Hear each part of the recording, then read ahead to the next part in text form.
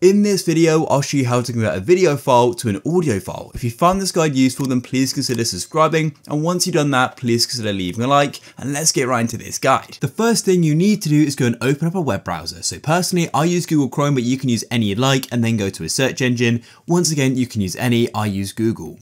Now, what you want to do is go and search for a software called VLC Media Player. This software is completely free and we can go and use it to go and convert video to audio. Type it in VLC, then media, then player just like so and go and search for that.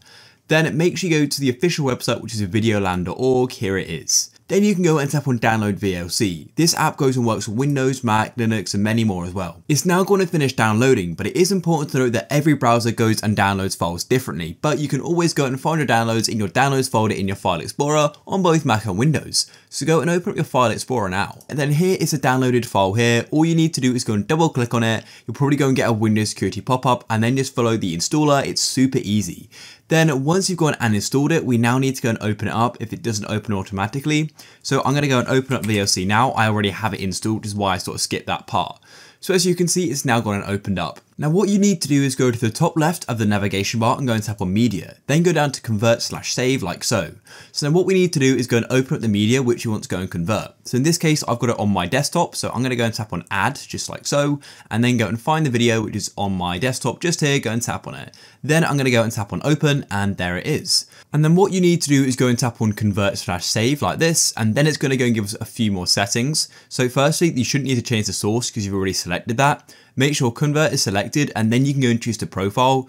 By default, mine is already selected MP3, but if it doesn't, you may need to go and scroll down this list here. Um, but yeah, you could also could have um, an FLAC file, a CD file, but MP3 is the most universal one. And all you need to do is choose the destination. So I'm going to go and tap on browse and I'm going to go and put this on my desktop. I'm going to name this finished and then I'm just going to add .mp3 as well, just to make sure that it is an actual MP3 and then go and tap save like so. So yeah, I'd recommend adding .mp3 to the end of the file name. Then once you finish, go and press on start like so, and then it's going to go and start converting it. And as you can see, you saw it quickly move across there. And this is because the video is only about 20 seconds. And there it is. As you can see, I've now got a file called finished. I'll just drag these out to zoom in on this. These are exactly the same. As you can see, 21 seconds. And the MP3 file is also 21 seconds as well. So I can go and double tap on it like so. And then it's going to go and start playing. Once this opens up, I can then go and listen to it back and they're exactly the same.